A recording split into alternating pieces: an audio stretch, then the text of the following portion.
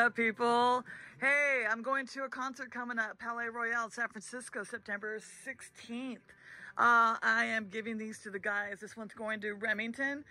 Uh, real leather, hand painted, everything. Almost done. I'm not done yet, so I just wanted to give you a heads up that I am almost done, but I will see you there. That one's going to Remington. This one's going to Sebastian. Not done with this one either. It's the velvet, looks good, but I've got to do more uh, pearls. I hope he loves it. I hope they all fit them, matter of fact. And I only have a little bit of time, so this is the big one for me. This is Emerson. I don't know why I love this one as much as everything else, but it's just what I do.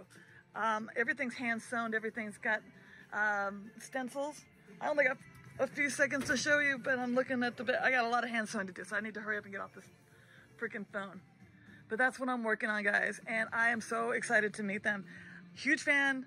I'm, I'm fanning out. I know. I'm freaking 55 years old and I'm fanning out. I can't wait to get these to them and I hope they fit them and I hope they enjoy them. Peace out.